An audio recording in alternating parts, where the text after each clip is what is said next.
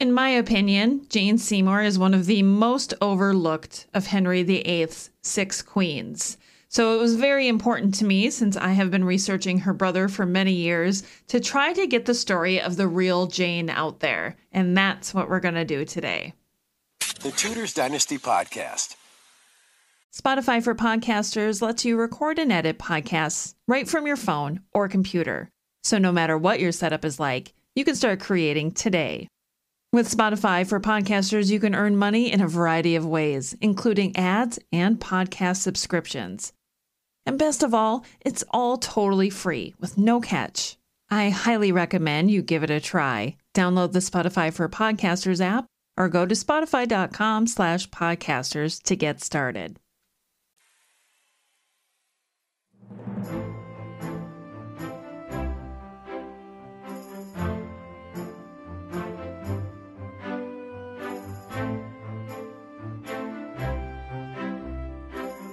You're listening to the Tudors Dynasty Podcast with Rebecca Larson. Hello, and welcome back. As we are still preparing for the new season to start in September, we're doing some flashback episodes. And today we're going to flash back to the episode about Jane Seymour with Dr. Elizabeth Norton. Now, Jane Seymour has always been the queen of Henry VIII who seems to be overlooked. People think she's meek and she's mild. Some think she's a homewrecker. There's a long list of descriptive terms that could be used for Jane Seymour, but I wanted Dr. Norton to return to the show to tell us the things that maybe we didn't know about her. Maybe let's bust some myths. Let's learn about her childhood. Let's learn about the real Jane Seymour from the research that she's done. So today I am so pleased to air for you again my interview with Dr. Elizabeth Norton on Jane Seymour. But before we get to that interview, I have to tell you about the Wolf Hall weekend that is coming up next summer in Devon, England. You guys do not want to miss out on this amazing event. It is to honor Hilary Mantel, Dame Hilary Mantel, who wrote the Wolf Hall trilogy. So there's our connection to Jane Seymour. Come check out the links in the bio. There is a lot of information there about who the presenters are going to be. There are going to be great historians there. There are going to be some actors there, some really fascinating people who will have some great things to say, not only about Tudor history, but also Hilary Mantel and her writing. So find the links in the show notes to find out some more information about this event. And maybe, just maybe, I'll see you in Devon, England next summer. Elizabeth, welcome back. Thank you very much for inviting me back. It's such a pleasure. I'm so excited because today we're going to talk about a queen who has become one of my favorites over time, Jane Seymour. And you wrote a biography about her. When did you write that again? Uh, it was back in 2009, I think. So it's it's a, a long time ago, and really there hadn't been much written on her before that. So it was quite kind of going into new territory. And I think when I started my research on Thomas Seymour, I, you know, because there wasn't much written about him at that time, I believe I started reading the books on Jane to kind of get an idea of the family. And yours was actually one of the first ones I ever read. So you did such a great job on the research and writing of that book. I highly recommend that if anybody is interested in learning about Jane to read Elizabeth's book, because as you will learn today, she knows a lot about Jane. Well, that's very kind of you. well, let's start from the beginning then with Jane. You know, we know that her family was country gentry. Can you explain what that means exactly? Yeah, so the gentry are they're an enormous class in Tudor England. They are one step below the nobility. So they're not lords, they're not earls, they're not dukes. Um some of them have titles. So some of them are knights. So, you know, for example, Sir John Seymour, Jane Seymour's father, he is a knight but you also get esquires and just gentlemen, people who are able to describe themselves as a gentleman. In many countries, they would be kind of the lower rank of the no- nobility. And it's just really in England, there aren't that many titled families. So they are very much not peasants. They're not lower class people, but they're at the lowest rung of people who can attend court, who can receive a visit from the king. Now, one of the things about Jane is that she actually had some royal blood through her mother's side of the family. Can you elaborate on that? Yeah, she did. So, um, I mean, all of Henry VIII's wives are descended from the Plantagenet kings. Jane is descended from Edward III. So, he is a king in the 14th century, had a lot of children and a lot of descendants. And because the Tudor court is actually quite a small world and everyone is interrelated, Jane, yeah, very much does have royal blood. And her mother was higher ranking than her father. Now, let's look at her childhood just a little bit. Now, I know there really isn't that much known about her childhood or even Thomas's, but can you tell us maybe a little about what you learned about her life at Wolf Hall? Yeah, so a lot of it is kind of reconstruction and thinking about, you know, what a girl of her class would, what her life would be like. But we can get a sense of what life was like at Wolf Hall. So the manor house it's not enormous um, there's probably about 50 people in the household so family and then servants as well and in this period servants live quite intermingled lives with their social superiors so you know you can expect unmarried serving maids to be sharing rooms with the daughters of the household potentially we can assume that jane's mother plays a major role in her early education. That would be quite usual. So the mother, until the children are old enough to have tutors, will teach them their letters, will teach them to read. Sometimes the parish priest is also involved. So we can assume that Jane's mother, Marjorie, is involved and that Jane will be taught with her siblings who are close in age. So, not Edward, because he is considerably older than Jane, but certainly Thomas and also their, their other sisters as well. It's a rural life. Um, they have gardens, they have orchards, they have farmland. Jane will be taught needlework. That's a really important part of a young gentlewoman's upbringing. Her mother will certainly ensure that she can sew, that she can make clothing, and that she can do more decorative embroideries. She'll be taught music, she'll be taught dancing, because these are really important skills for a gentlewoman. Her education doesn't appear to be particularly extensive. She can certainly read and write. Um, most women of her class could, uh, of her generation. She'll probably be taught a little arithmetic. She probably knows some French. Um, she can certainly talk to Eustace Chapuis as queen in French to a certain extent, although, I mean, it's not a particularly involved conversation. She probably doesn't know any Latin. I'm interested by that because I think I was always under the impression that she could not speak any foreign language, that she wasn't taught them. Yeah, well, we know that she has this. Com- so it's always with Jane. it's so tantalizing. You just don't. We just don't have the information on Jane that we have for others of Henry's wives, but we just have kind of clues and hints. So, for example, early in her queenship, um, Eustace Chapuis, who's the imperial ambassador, sort of takes her aside and speaks to her. And she seems to have been quite out of her depth with this conversation because Henry comes over and rescues her after a few minutes and then takes over. But Chapuis would have been speaking French to Jane, definitely. And so um, I think we can, you know, he doesn't say, you know, and the Queen couldn't understand a word I said. So I think we can kind of guess that there's a little bit of French there, but she's certainly not fluent. Okay. Now, you mentioned a little bit about um, her mother, Marjorie. Do we have any ideas there any evidence to let us know what kind of relationship Jane had with her? So, again, I mean, it's it's sort of guesswork, unfortunately. Marjorie is higher born than Jane's father. She was actually raised in the household of her aunt, the Countess of Surrey, up at Sheriff Hutton Castle. What's quite interesting about that is the Countess of Surrey is the mother of Anne Boleyn's mother. So the two cousins are raised together Marjorie, Jane Seymour's mother, and Anne Boleyn's mother.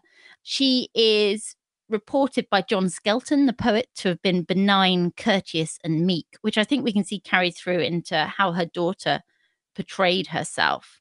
So, I mean, we can assume that they're they're reasonably close, but equally, there's no evidence that Marjorie comes to court with Jane when she's queen, and she seems to have remained in the country when she dies during Edward VI's reign. And bearing in mind that Marjorie is Edward VI's grandmother, actually her death cause causes very little stir. They don't even put the court into mourning, which suggests that you know she presumably had a relatively close relationship with her mother, at least in childhood, but um, her mother doesn't come to court as a supporter.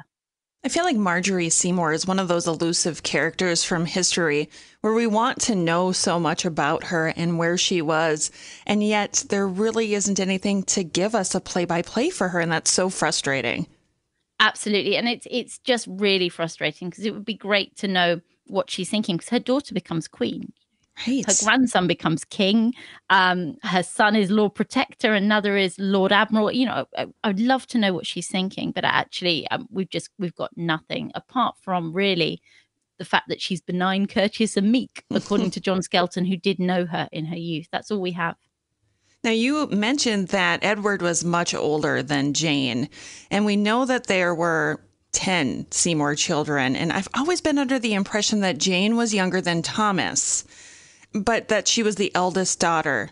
From the research that you've done over the years, what evidence did you find that confirmed an order, or were you even able to find any evidence that confirmed an order of the children?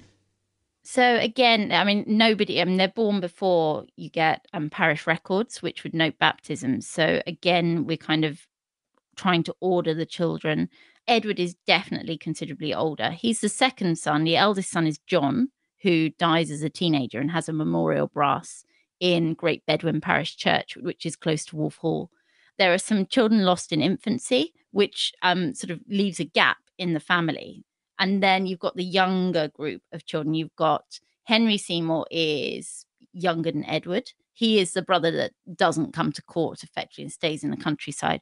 And then we've got a gap, and we've got probably Thomas before Jane, looking at the facts of their lives and when Thomas comes to court. You then have Jane quite close in age. I mean, I would suggest she's probably about a year or so.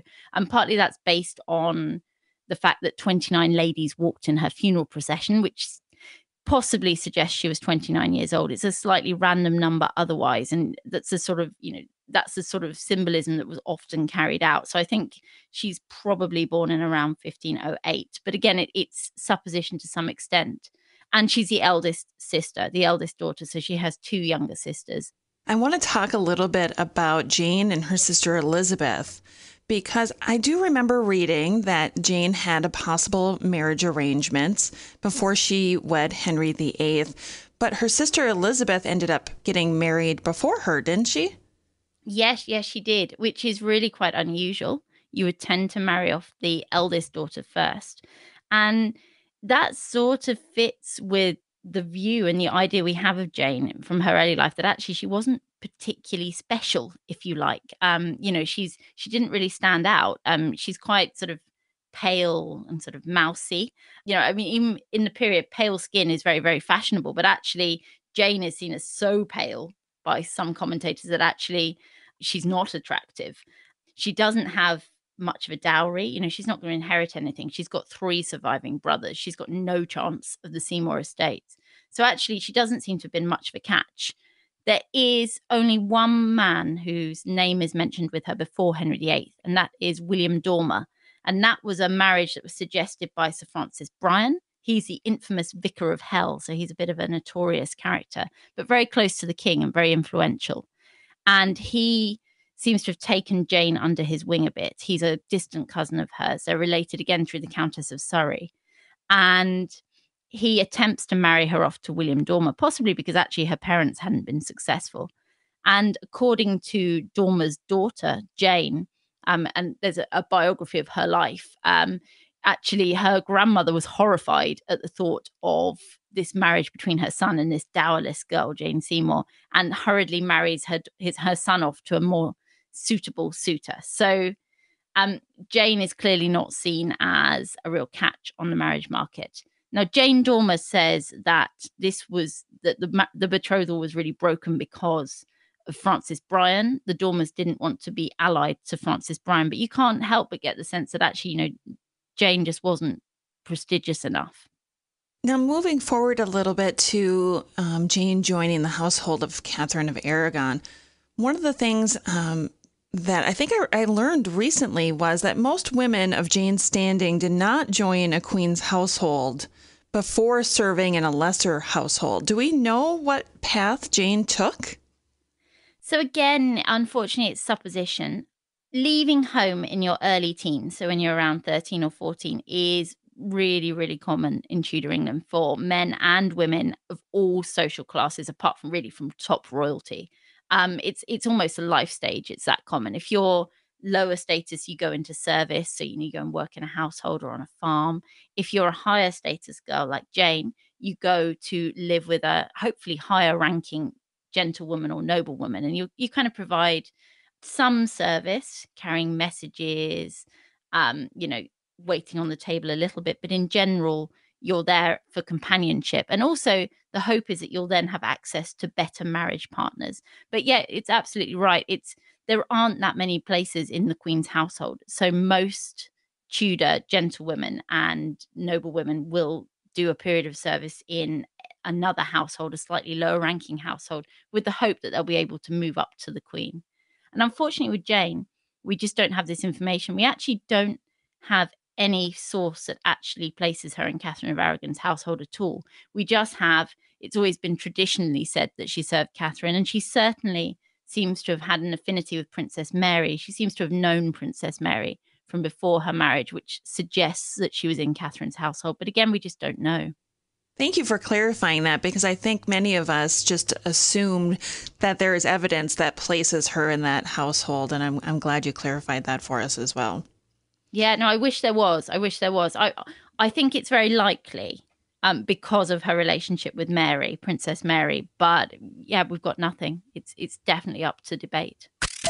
This brief interruption is brought to you by, well, me. Do you love Tudors Dynasty? Consider becoming a patron on Patreon. Patrons get access to all kinds of amazing things that the everyday listener does not. Find out more by going to Patreon. That's P-A-T-R-E-O-N dot com slash Tudors Dynasty and click Become a Patron for details. All right, back to the show. Jane is one of those characters from history where I feel like people want to understand who she was and how she thought. What is your take on Jane's personality?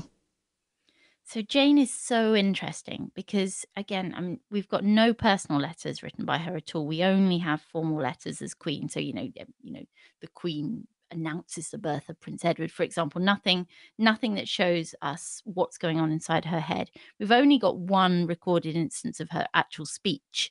So she's a bit of an enigma. She certainly portrayed herself as a meek, mild, sort of obedient young woman. That's certainly her image. Um, she wears the English gable hood, which is shaped like the roof of the house and is is quite unflattering. Um, certainly compared to the French hood, which Anne Boleyn, of course, wears, and which shows an, a daring amount of hair. So Jane very much is portrayed and portrays herself as meek, mild, doesn't have a lot to say, perhaps not a lot going on in her head. Um, I don't buy that. I have to say. I'm looking at the facts of Jane's life. Um, she certainly pursues Henry VIII as determinedly as Anne Boleyn does, I would argue.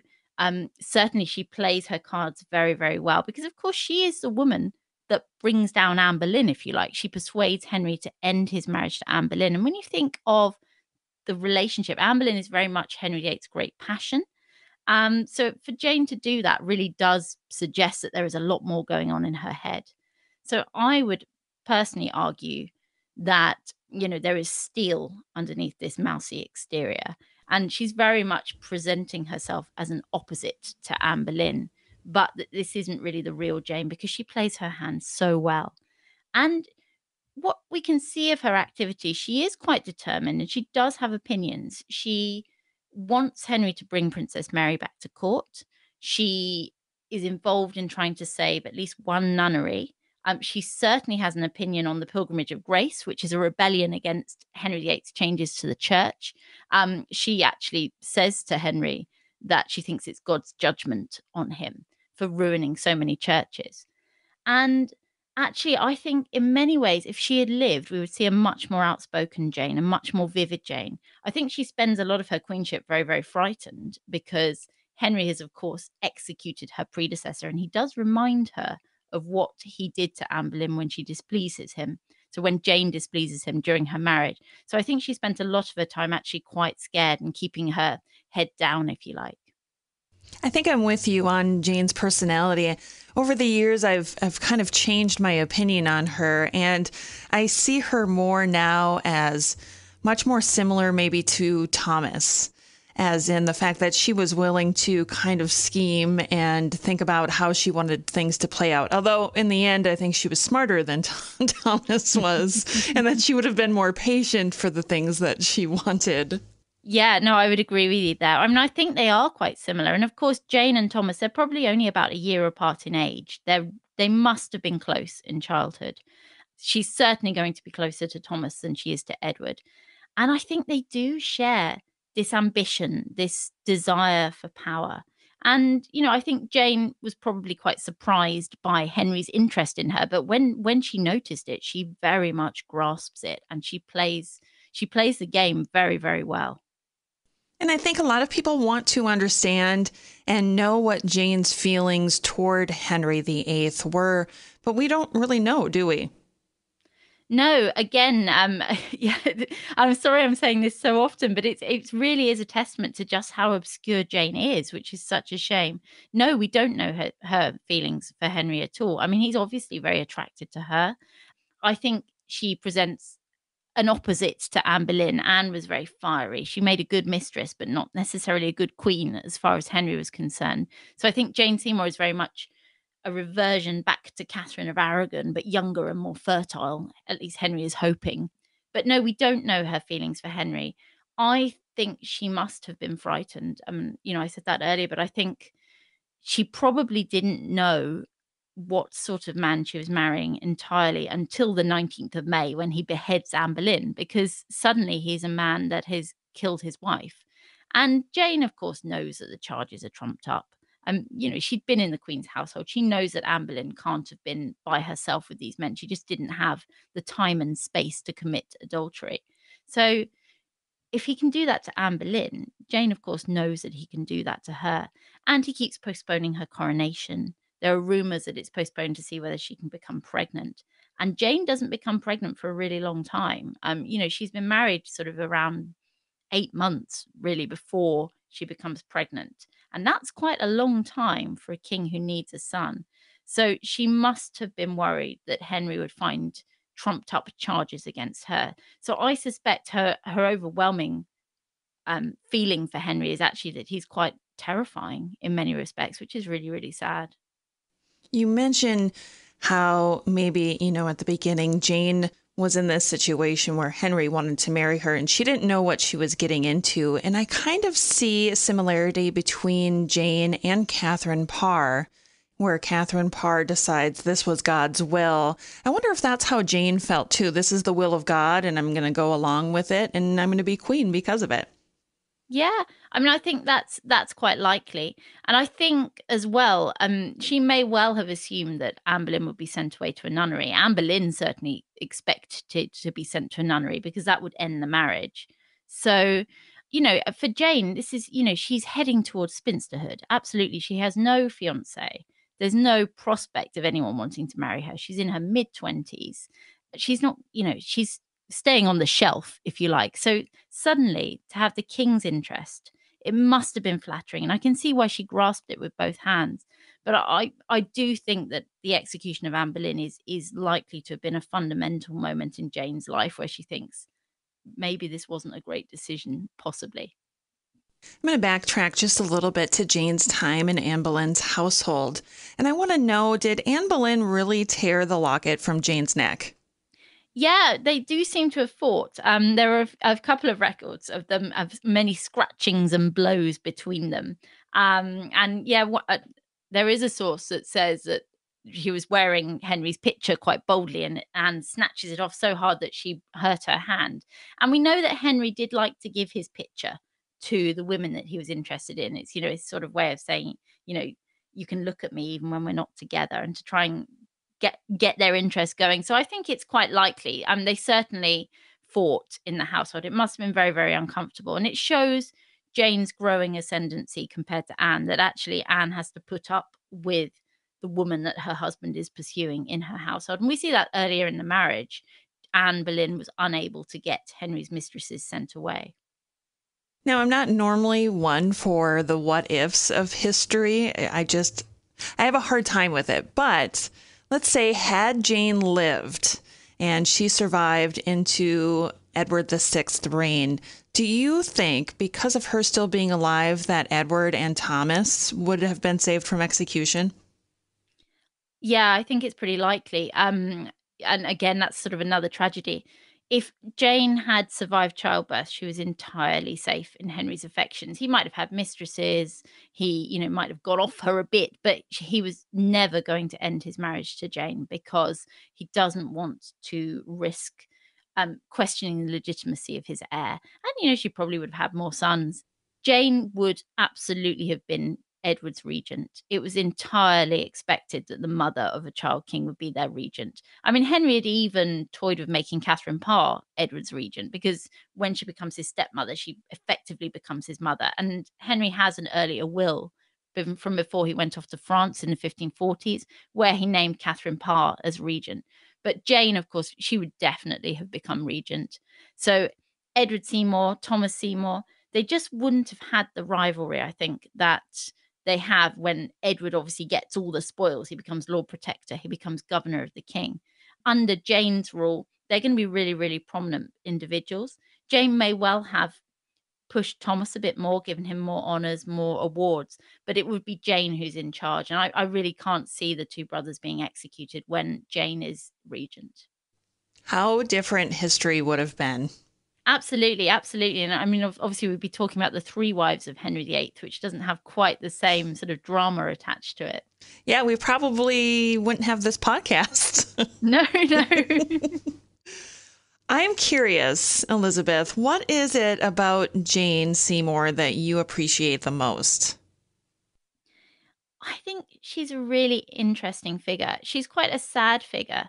She gets quite a lot of bad press um, because of her role in the fall of Anne Boleyn. Obviously, Anne is very, very popular and really, really didn't deserve her death at all. I mean, I, you know, even real Anne haters, if you like, don't think that she deserved to be beheaded. I mean, even Eustace Chapuis didn't think that she deserved it. And I mean, he really disliked her. So Jane gets a lot of hate from that. And I, my take on Jane very much is that actually she's quite similar to Anne Boleyn um, but I don't think, you know, I don't think we can pin the execution on her. So what I think is really interesting about Jane and what kind of draws me to her is she's such an enigma. And I just want to know more about her because she's a woman right there in the center of events. And she she has enough about her that Henry is determined to marry her and actually, you know, beheads Anne Boleyn so that he can marry Jane. So I just want to know more about her. She's such an enigma. Okay, now for the last question, I'm going to put you on the spot a little bit here. What do you believe was Jane's biggest contribution to English history, other than Edward VI? Oh, that's a tricky one. I mean, she doesn't leave much historical mark. I always think I always think of Henry's wives as kind of the major and the minor wives, and Jane, along with Anne of Cleves and Catherine Howard, is very much in the minor wives category. I think her biggest contribution is perhaps that she very much reinforces the fact that actually a king doesn't need to marry a foreign princess, that you can promote an English woman as your queen. And obviously, Henry had done that before with Anne Boleyn. His grandfather, Edward IV, had done it with Elizabeth Woodville. But in general, other than those, um, in fact, other than those two women, uh, there are no English queens of England um, post conquest. Um, kings always marry foreign princesses. So I think Jane just really reinforces that you can get a queen from your own country, that you can promote a woman. And I think it's difficult to see that as, you know, sort of a feminist stance or, you know, even something that um, increases the prominence of women because we're very much in a patriarchal society in Tudor England. I mean, undoubtedly so. But I think it just is just another factor in ideas that actually women potentially could be suitable to wield some power. So I think it's it's a little bit tentative, but I think actually Jane's role as an English queen who does well is perhaps laying the groundwork a little bit for the reigning queens that we get later in the century. So Mary and Elizabeth. So I think in that sense, you know, she is quite important. And we don't want to forget to remind our listeners that you were recently involved in the BBC series The Boleyns. Congratulations.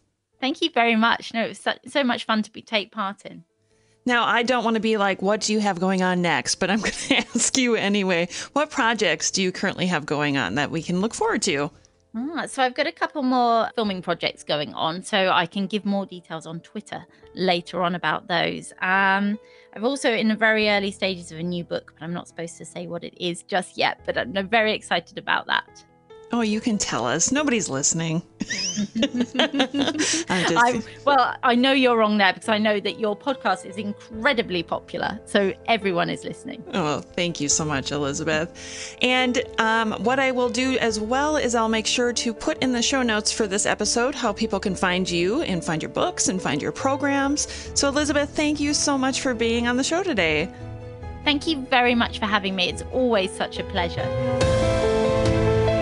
Thanks for listening to this episode of the Tudors Dynasty Podcast. You can follow and support the Tudors Dynasty Podcast on Facebook, Twitter, Instagram, and Patreon at Tudors Dynasty.